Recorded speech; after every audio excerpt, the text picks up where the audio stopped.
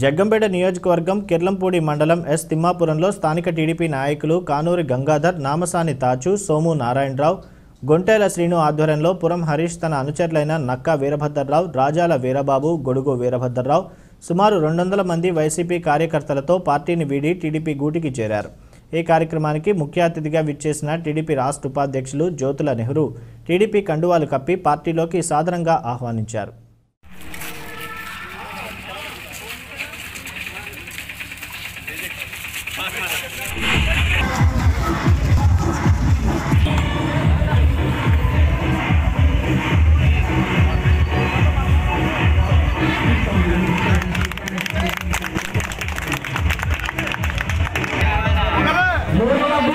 రాసిందని వెంకటగారు నిన్న కూర్చున్నాం పదో వార్డు ఎన్నో పనులున్నటువంటి మా అష్టమాపురం గ్రామానికి శ్రీకృష్ణ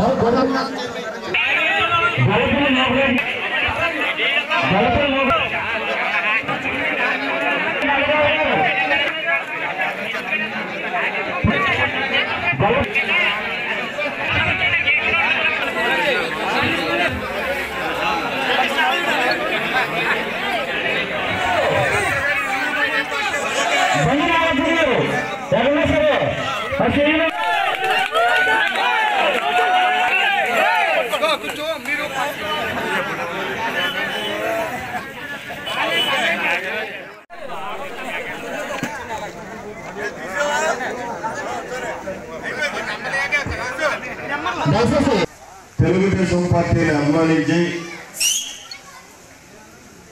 వైఎస్ఆర్ కాంగ్రెస్ పార్టీ నుంచి హరీష్ అలాగే వారి మిత్ర బృందం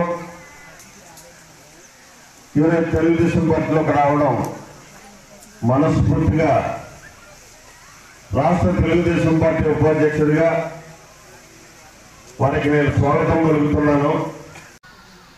రోజు రోజుకి కూడా ప్రజల నమ్మకాన్ని కోల్పోతున్నటువంటి పరిస్థితులు.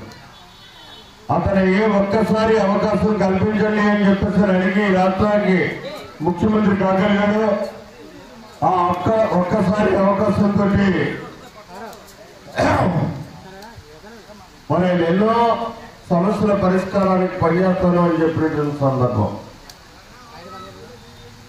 ఈవేళ ఆయన పరిపాలన తీరును కానీ చూసుకున్నట్టయితే. అతి కీలకమైంది ముఖ్యమైనది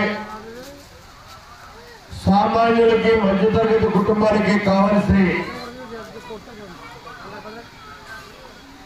నిత్యావసర వస్తువులు. మనిషికి ప్రతిరోజు ఎదురయ్యేటటువంటి సమస్య. ఈ నిత్యావసర వస్తువుల్ని ధరల స్థిరీకరణ చేసి వాళ్ళకి అందుబాటు ప్రజలకి అందుబాటులోకి తీసుకురావాల్సినటువంటి బాధ్యత ప్రభుత్వం వహించాలి. మరి అటువంటి పరిస్థితుల్లో ఈ ప్రభుత్వం ఇరవై మాసాల కాలంలో ఏం చేసింది అన్నది మనం ఎవరు చెప్పకుండా ప్రతి సోదరిముడికి కూడా తెలుసు. ఆ రోజు తెలుగుదేశం ప్రభుత్వంలో నిత్యావసర వస్తువుల యొక్క ధరలు ఏ రకంగా స్థిరీకరణ చేసి అందుబాటులోకి ప్రజలకు ఇచ్చినటువంటి పరిస్థితులు ఒక్కసారి మీరే చేసుకోండి.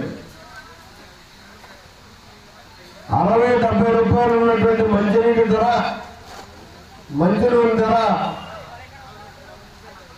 ఇవాళ నూట యాభై రూపాయలు అయిపోయినటువంటి పరిస్థితి. ఒక్కసారిగా రెట్టింపు పెరిగింది. అంటే ఖచ్చితంగా ఇది ప్రభుత్వం వైఫల్యం అని చెప్పక తప్పదు. ధరల స్థిరీకరణ నిధి అన్నది మూడు వేల కోట్ల రూపాయలు ఈ రాష్ట్ర బడ్జెట్లో పెట్టామని చెప్పి చెప్పినటువంటి